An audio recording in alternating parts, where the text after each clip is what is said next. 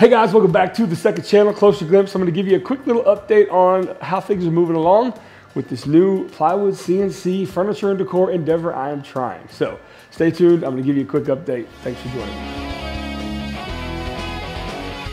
Oh man, lots of good feedback from these beta testers. Thank you guys so much for doing these cornhole boards for me.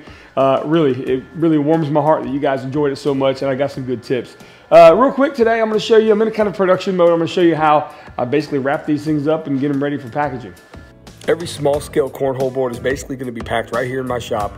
I use a couple hold fast for reference and then I just wrap everything in cellophane. It's gonna come with a bag of hardware for installation and eight bags with different color choices as well. This is gonna be a pretty cool endeavor and I thank each and every one of you so far. As you can see, production mode is fully underway here at Glimpse Inside. Now, I'm gonna invite you to check out my new Instagram account. It's called Why Not Ply. Actually, it's a new endeavor I'm gonna start. And over the next few months, I've got some ideas, the cornhole boards, this table here, a lot of CNC things done right here in my shop that basically will be flat packed, shipped out, and you get an experience to build yourself something you can customize, and then you have something functional. This table is a prime example of that. This is probably the seventh iteration of this in terms of prototyping. It's been a pretty fun process, and I've got so many things coming out here in the next few months.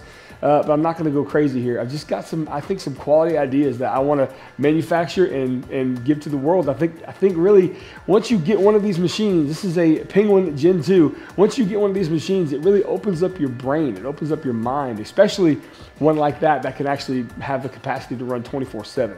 Um, there have been days where I've cut on that machine for about 18 hours straight.